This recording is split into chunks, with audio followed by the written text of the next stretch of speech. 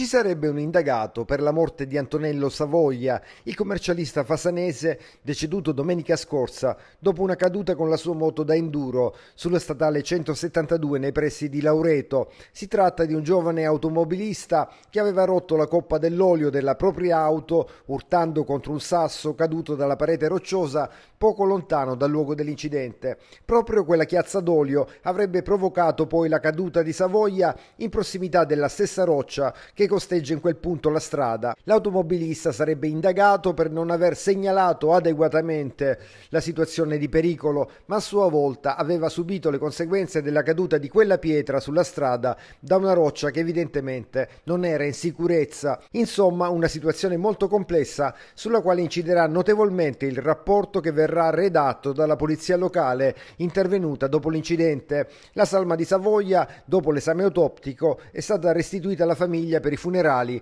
nella chiesa di San Francesco da Paola a Fasano.